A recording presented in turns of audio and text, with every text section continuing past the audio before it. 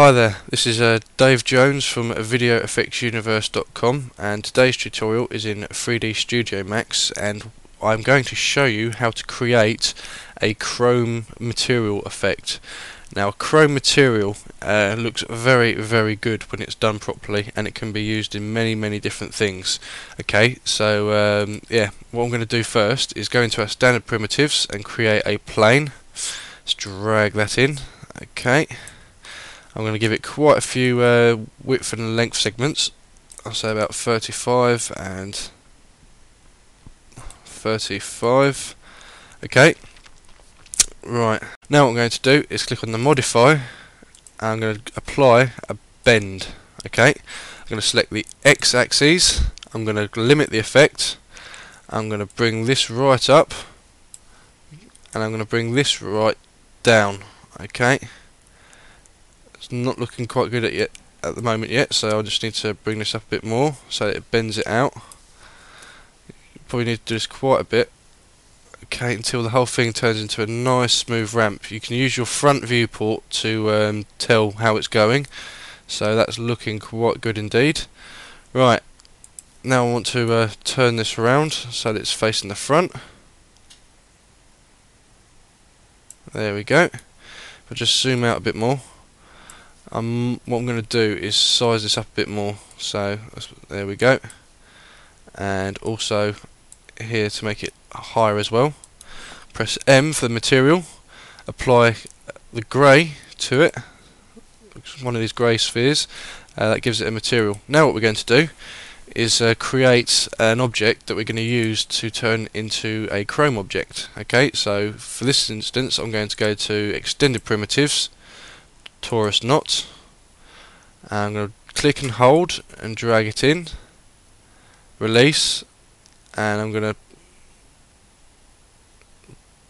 bring it out a bit more, okay, and release again. Now what I need to do is uh, bring this over to here, bring it up a bit. Now it's quite large, so what I'm going to do is scale it down because it's uh, quite big at the moment. So let's just scale this right down. Okay.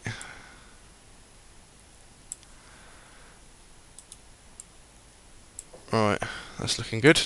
Now what I want to do is align it up so that it sits perfectly on the plane. Not actually on the bend bending part, but on the flat part here. So I'm trying to get in as close as I can to make sure that it's on the on the floor there, and that looks quite good. Okay, and in my perspective, I'm just gonna turn this around so we can get a nice view of the uh, torus knot. Right, let's place it in the middle there. Right, now what I'm going to do is going to create some text, okay? So I'm going to click on um, my splines here and click text. I'm going to drag it into the top viewport and I'm going to type in Chrome. Okay, I'm going to scale that right down Okay, so it's nice and small. Okay, I'm going to uh, also bring it up so it's facing upwards. Okay, that's looking uh, like it's standing up pretty well. There we go, that's standing up. Uh, now what I'm going to do to the um, to the text is go to a modify, modify list, and bevel. Okay. Uh, I'm going to size that up a bit more so it's a bit thicker. And with the level 1 I'm going to bring it out. And level 2 we need to select that. Uh, let's have a look. There we go. That's looking quite good. So it's got a bit more of a more of a shape to it now uh, we'll click on uh, keep lines from crossing. Now, this is quite useful because uh, when you actually um, apply textures and stuff like that, it can cause problems. I'm going to bring it out the front here. There we go. We're going to line that up properly. Now with this, I need to bring the camera down. Uh, so what I want to do is uh, bring the camera so that it's facing more to the front rather than an angle. Right, now comes to adding our uh, material. This is quite simple to do.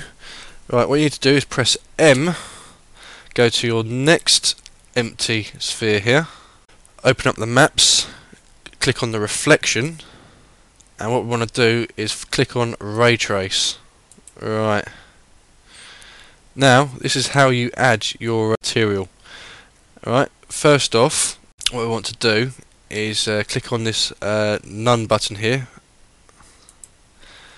choose bitmap, and what you want to do is find an image. It can be uh, anything you want because this image is actually the reflection that you're creating. Okay, so I'm going to go to my documents, uh, my pictures, and basically I have a couple of uh, sample photographs here.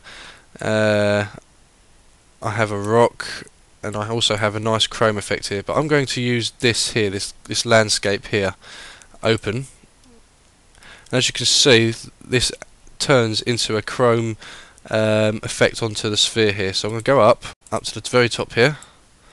Also what I'm going to do is click on a diffuse colour and actually bring this down as really dark because um, it brings out the chrome a hell of a lot more when it's a darker colour as you can see. Right now what I'm going to do is select my torus and then I'm going to apply this to the torus. Okay To bring it also so it's visible in the viewport.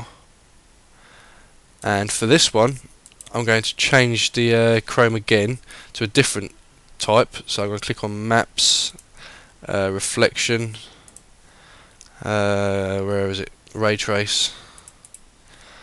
And click on this uh, bitmap. And in this one I'm going to use this one here. Open. Okay back up back up and change the diffuse colour so it's a really really dark. It doesn't need to be black but it needs to be quite near the top there. And I'm going to apply this to the chrome. Okay. If I just do a quick preview I will show you what you come back with. And there you have it. So uh, that's, that's, that's quite good indeed. Now you can do this with anything. So if I just uh, create a uh, create a sphere, drag that in, give it loads and loads of segments, maps, and apply this one to it. We'll also have the ball or the sphere, sorry, which is uh, applied, so you can actually create your own ball bearings. Make sure it's aligned up properly. Let's change the camera. Let's bring it back a bit.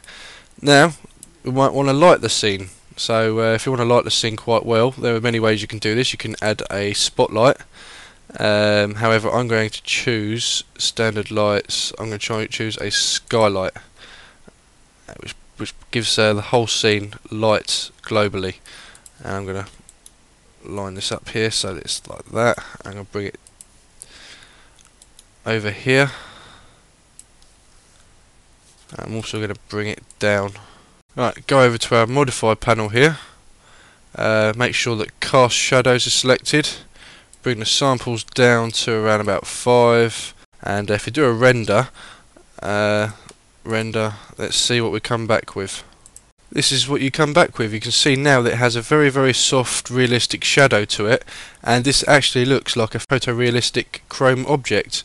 Now, like I say, you can have all kinds of different effects uh, that you come back with um, if you use different kinds of images.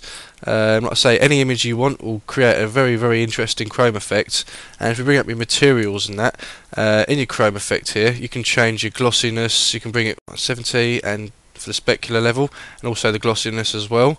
And this creates a uh, quite big impact to it as well. It create, gives it even more of a chrome effect. So there's no sort of set preset what you can have for this. I mean you can mess around with any of these and they will both have different effects. And it looks like it's on a real surface and it's a real object so you can play around with this as much as you want, use any images you want to use as your reflection uh, in your ray trace settings in your materials editor here. So this is uh, Dave from uh, VideoFXUniverse.com. Uh, please uh, log on to the site, download this tutorial, um, join the forum and um, I shall speak to you soon.